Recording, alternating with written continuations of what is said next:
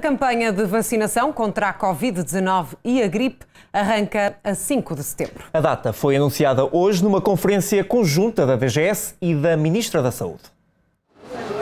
Depois de um balanço positivo da vacinação da segunda dose de reforço contra a Covid-19, a próxima fase assenta num plano desenhado num contexto de incertezas. Dia 5 de setembro arranca a próxima campanha em que a vacina da gripe e da Covid-19 serão inoculadas ao mesmo tempo aos grupos mais vulneráveis.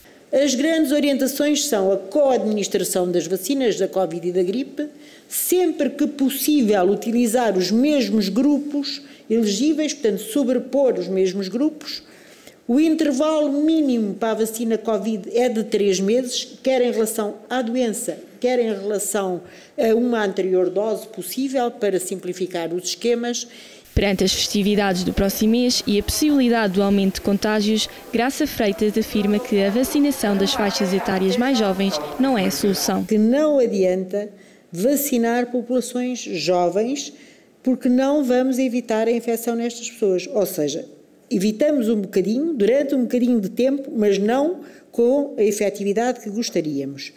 Perante esta variante, a estratégia é a proteção dos mais vulneráveis. A inoculação contra a Covid-19 passará a ser adotada com a mesma estratégia sazonal que a vacina da gripe.